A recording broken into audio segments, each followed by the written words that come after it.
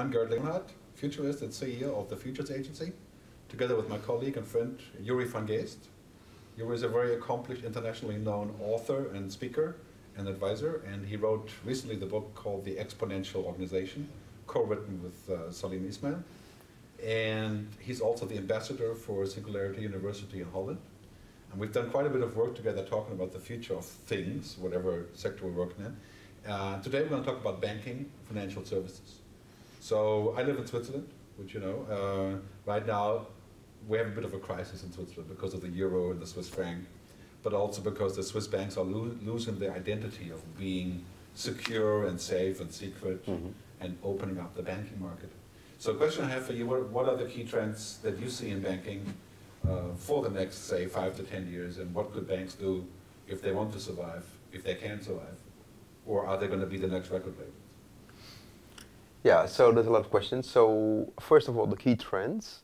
I think the financial services business is in a is coming into a triple disruption scenario.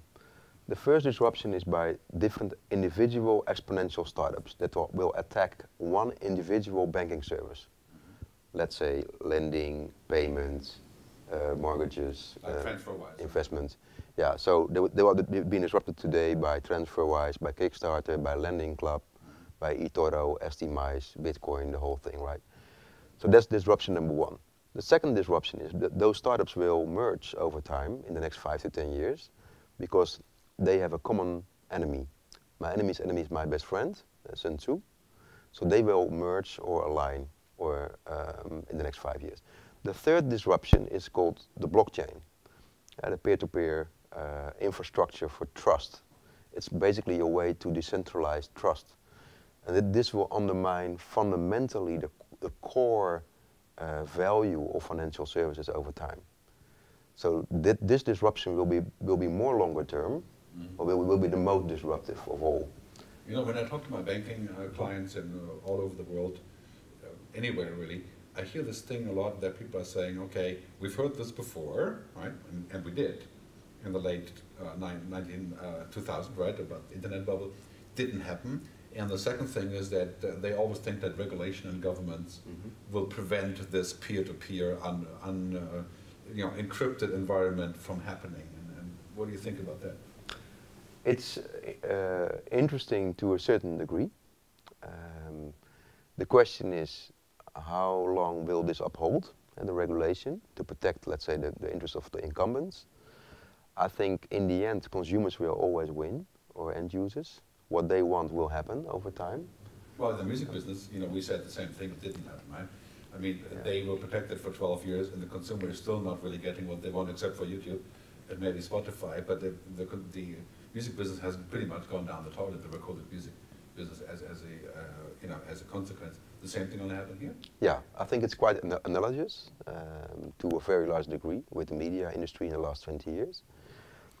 There will be disruption. It's all about value creation and value capture. If you look at the mix, the, the symmetry of this in financial services, it doesn't make sense. There's a lot of, there's a small value creation and a lot of value capture. So people don't want that, don't like that. So there's room for disruption to have a more, let's say, symmetric playing field of value capture and value creation. Absolutely, but I mean, in your book, The Exponential mm-hmm. Organization, mm -hmm. you talk about how this happens with companies that are 10x, you know, mm -hmm. that mm -hmm. do things 10 times as good. Yeah, so how could they do that? Uh, actually, that's already happening, right? Because if you look, for example, at TransferWise, it's 90 percent cheaper than the, the, the incumbents offering today mm-hmm. through, through transfer money.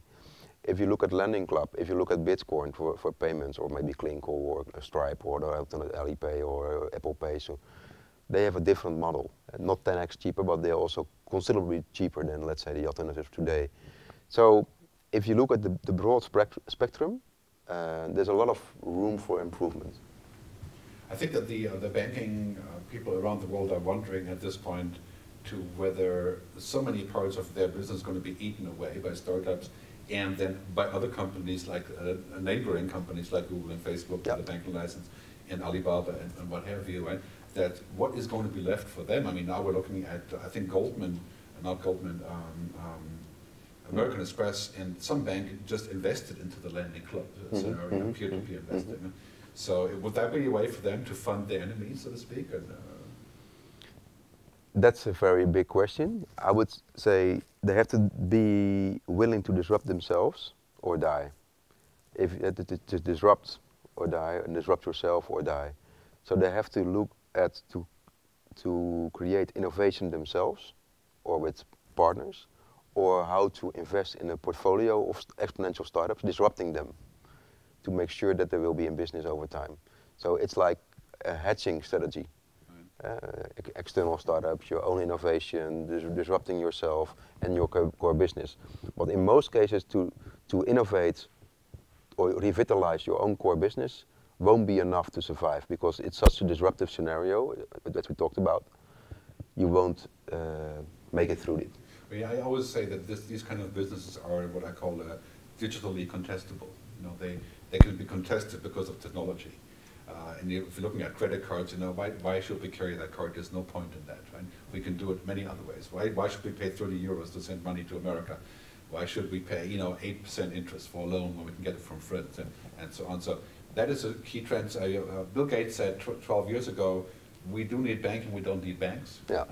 And this is actually finally happening. I, I, believe we still need banks, just like we still need record labels, but their role is going to be entirely yeah. different, and they're yeah. going to have to reinvent.